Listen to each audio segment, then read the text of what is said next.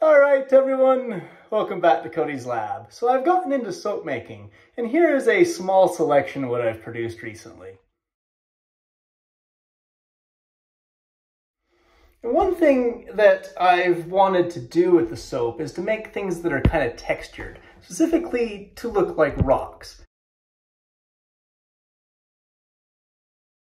And one thing I've thought of is to have a soap with fossils in it that would weather out of the soap as it's used, just like it does in a rock. And this means that I need to make the fossils kind of harder than the surrounding soap. So one thing that I found in my research to harden the soap is to add a few percent of beeswax. Beeswax makes the soap harder. And in the charts, it has a saponification value. And this makes sense because beeswax is essentially an animal fat. It's bee fat. It is slightly different. The chains of the molecules are a little bit longer. There's some slight differences, but it is essentially a fatty acid with a long alcohol chain binding it together, just like something like lard. So I got to thinking, what would happen if I made soap instead of using just a small amount of beeswax, what if it was all beeswax? 100% beeswax soap. Could that work? I would assume it would be really hard, but should still be soap, right? Well, let's go see what happens. Okay, how much beeswax do I got? 200 grams. Nice, I'll make math easy. Pop this in a pot, get it melting. According to my research, I should need about 14 grams of sodium hydroxide to completely react and saponify the wax.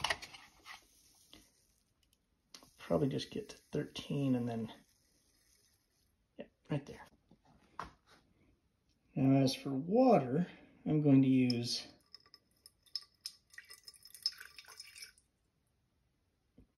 about that much actually. Okay, the wax is up to temperature.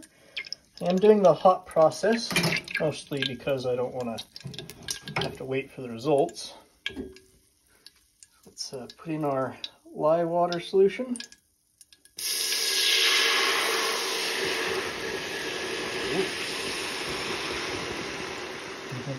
It's kind of neat. It's really expanding. Put it out. Okay. Let's give it a stir.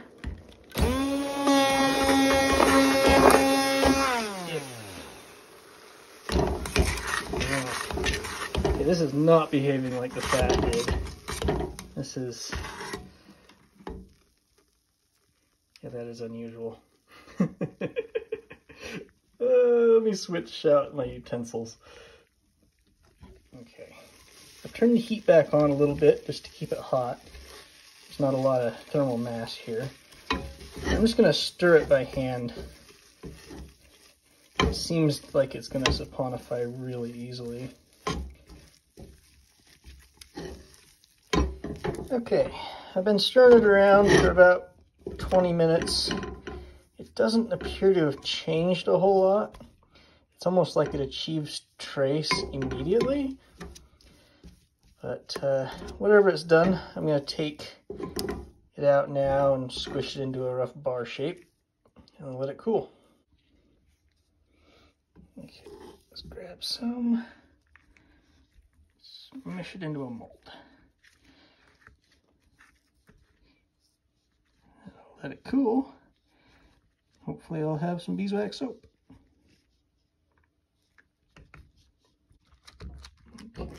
there it is. Now it seems to harden up as it cools, just like wax would. It looks just like wax.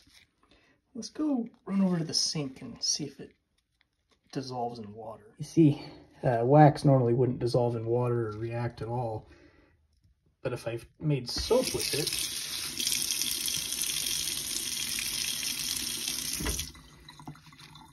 should be able to see something. Look at that, bubbles It's making the water milky. So we definitely did something to it. it behaves like soap. That's encouraging. Hmm. Hopefully it's not a problem to run down the drain. Okay. Pop out the cubes. It was very rough, but I just had an idea.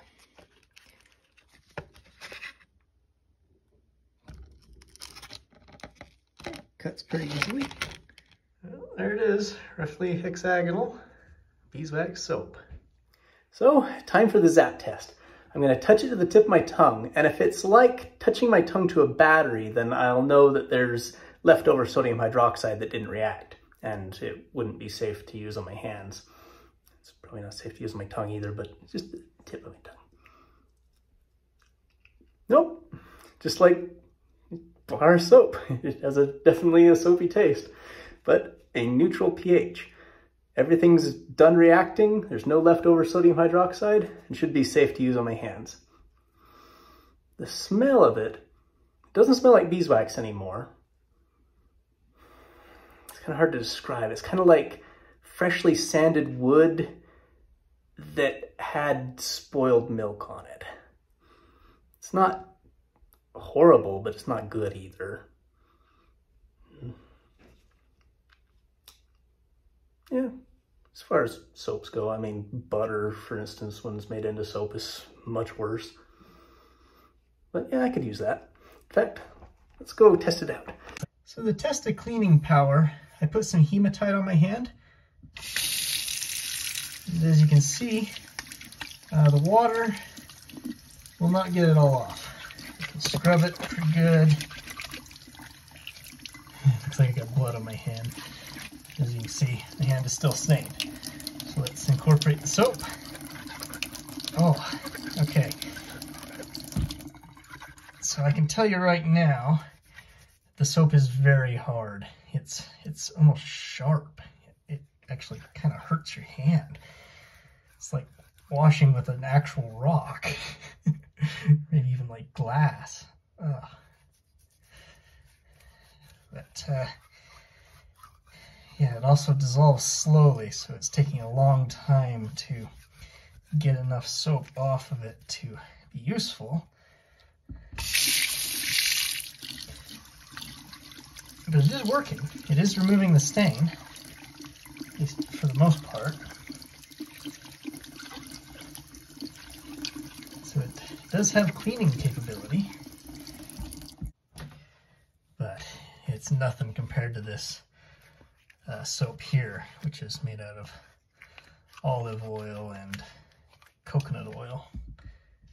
I see much bigger bubbles.